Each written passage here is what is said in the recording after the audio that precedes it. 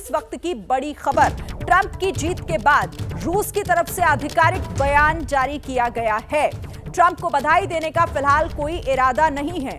ये बड़ा बयान जारी किया गया है रूस की तरफ़ से। इस वक्त की बड़ी खबर आपको हम बता रहे हैं। तो ट्रंप की जीत के बाद एक तरफ़ तो बधाई देने वालों का भी जो है वो सिलसिला शुरू हो चुका है। तो दूसरी तरफ़ कहा गया है कि पुतिन ट्रंप को बधाई देंगे। इसकी जानकारी नहीं है क्रेमलिन की तरफ़ से। नीति और नियत देखकर बधाई देंगे। रूस ने बधाई देने को लेकर यह अपना रुख स्पष्ट करते हुए कहा है, अमेरिका प्रत्यक्ष अप्रत्यक्ष रूप रूप से रूस के खिलाफ युद्ध में है।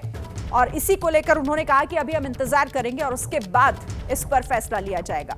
और चलिए इसी से चर्चा की शुरुआत भी कर लेते हैं। और वीना सीकरी जी, सबसे पहले मैं आपके पास आऊँगी। अब रूस का जो ये रुख है, एक तरफ़ तो बधाइयाँ दी जा रही हैं ट्रंप, जिस तरीके से इतिहास रच रहे हैं, एक बड़ी जीत दर्ज कर रहे हैं, बहुमत के आंकड़े को क्रॉस कर चुके हैं। इस बीच रूस का ये बयान किस तरह से देखा जाए इसे? उनकी तरफ़ से तो ये बयान सही है, क्योंकि उन्होंने, वो जानते हैं कि प्रेसिडेंट ट्रंप ने इलेक्शन के मौके, दौरान में कहा है कि वो जो उक्रेन और रूस का कॉन्फ्लिक्ट चल रहा है, उसकी, उसका वो खात्मा करेंगे। उन्होंने ये आश्वासन दिया है कि वो इसको ख़त्म करेंगे। तो इस इस तरीके से हम जानते भी हैं कि प्रेसिडेंट ट्रंप और प्रेसिडेंट पुतिन के पहले अच्छे रिश्ते थे और अच्छी समझौता थी उनमें।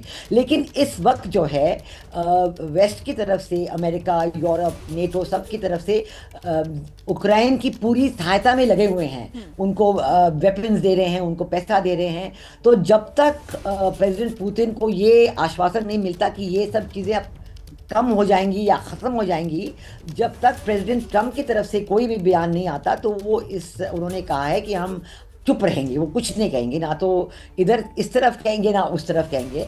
आ, लेकिन प्रेसिडेंट पुतिन ने पहले कहा है कि वो आ, युद्ध के न, का खात्मा करने के लिए तैयार हैं। हम्म। वो डिप्लोमेटिक डायलॉग में पार्टिसिपेट करने के लिए तैयार हैं। तो उम्मीद है कि प्रेसिडेंट ट्रंप की तरफ़ से कुछ बयान आएगा और ये बात जो है आगे चलेगी डायलॉग और डिप्लोमेसी की तरफ़ में। और हमारे प्रधानमंत्री जी मोदी जी कई बार प्रेसिडेंट पुतिन से मिले हैं उनसे बातचीत कर चुके हैं। प्रेसिडेंट ट्रंप और प्राइम मिनिस्टर मोदी के अच्छे रिश्ते हैं अच्छा समझौता है।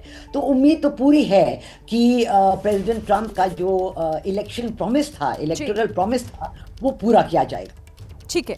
आशीष, इस पर मैं आपसे भी बात करूँगी, क्योंकि इस तरह से रूस का स्पष्ट तौर पर यह कह देना कि प्रत्यक्ष और अप्रत्यक्ष रूप से जो भूमिका अमेरिका की रही है, अब वो ये कह रहे हैं कि हम बधाई देने में थोड़ा समय लेंगे। इसे इस मौजूदा समय में किस तरीके से देखा जाए? क्योंकि अमेरिका के प्रेसिडेंट तो अब ट्रंप हो ही गए हैं।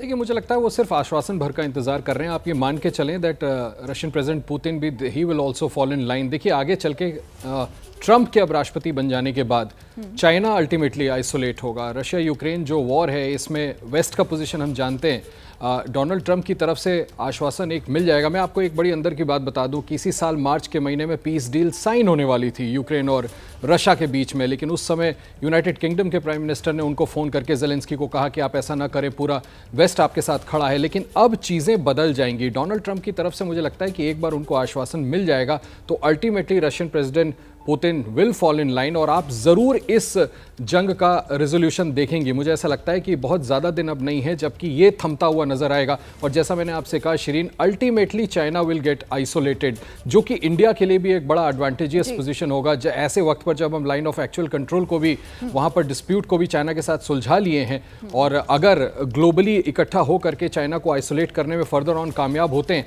तो वो हमारे लिए भी अच्छा होने वाला और मैं फिर से रिपीट कर दूँ कि ठीक है अभी वो रिलेक्टेंस ज़रूर दिखा रहे हैं। क्योंकि वो चाहते हैं कि एक बार उनकी पॉलिसी स्पेल आउट हो जाए और जैसे ही वो होती है दोनों नेताओं के बीच में बात होती है तो आई एम श्योर कि वो औपचारिक तौर पर डोनाल्ड ट्रंप की प्रेसिडेंसी का स्वागत भी करेंगे। इंतज़ार उसका भी होगा क्योंकि रशिया कहीं ना कहीं ये चाहता है कि आश्वासन उसे मिले। अब किस तरीके से ट्रंप इससे लेकर बयान देते हैं या क्या कहते हैं हम नज़र हमारी उस पर भी रहेगी।